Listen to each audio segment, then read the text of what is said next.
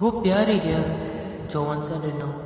तुम्हारा दिल उसके लिए एक्साइटेड ना हो। वो सिंगल है तो ठीक है, मगर प्यार करने का मज़ा ही क्या? अगर वो ऑलरेडी कमिटेड ना हो।